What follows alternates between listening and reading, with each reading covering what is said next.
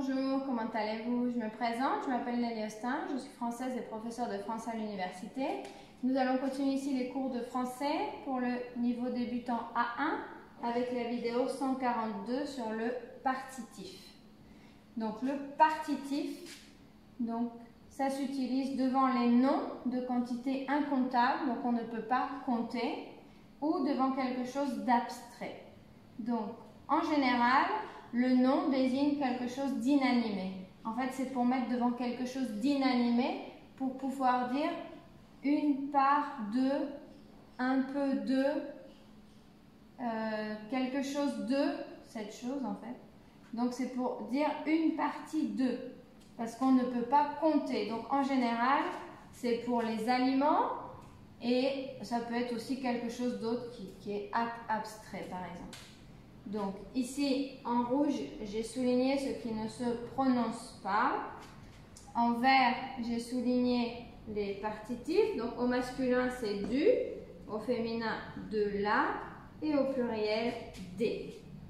Donc il faut savoir si le nom est masculin, féminin ou pluriel pour pouvoir bien faire la phrase. Donc j'ai mis ici des exemples euh, en rapport avec les aliments. Donc par exemple, je mange du pain parce que c'est le pain, du chocolat parce que c'est le chocolat. Je mange de la confiture de fraises parce que confiture c'est la confiture. Je mange des biscuits parce que ce sont des biscuits, il y en a plusieurs, on ne sait pas combien, il y en a plusieurs, donc des biscuits. Et des gâteaux, il y en a plusieurs aussi, mais on ne sait pas combien. Donc c'est plus pour dire quelque chose de général pour les aliments. Donc c'est comme si je disais, je mange un peu de pain, un peu de chocolat, je mange un peu de confiture, je mange un peu de biscuits, un peu de gâteau. Ou ici c'est comme si on disait je mange plusieurs biscuits, plusieurs gâteaux. Donc je mange une, une partie du pain, un peu du pain. Voilà, donc c'est pour, pour dire que c'est quand on a quelque chose qu'on ne peut pas compter, on ne peut pas diviser bien, c'est pas explicite, donc on dit un peu de pain. Donc du pain, c'est plus facile, donc du pain.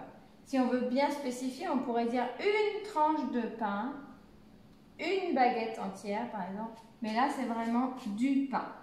Donc on ne peut pas euh, dire la phrase sans le partitif. Il n'y aurait pas vraiment, enfin il manquerait un sens vraiment. Donc on est obligé d'utiliser le partitif devant les aliments quand on parle qu'on les mange ou qu'on demande cet aliment, d'accord? Donc pour dire que c'est une partie de ce pain. Donc il faut faire attention parce que normalement on dit le pain. Par exemple, on peut dire j'aime le pain parce que c'est quelque chose qu'on aime en général, le pain. Mais quand on veut quelque chose ou qu'on mange quelque chose, là, il faut dire je mange du pain je veux du pain, je voudrais du pain, s'il vous plaît. Donc là, on utilise ça. Je veux du pain, je veux de la confiture, je mange des biscuits. C'est la différence avec j'aime, par exemple. J'aime le pain, j'aime la confiture, j'aime les biscuits.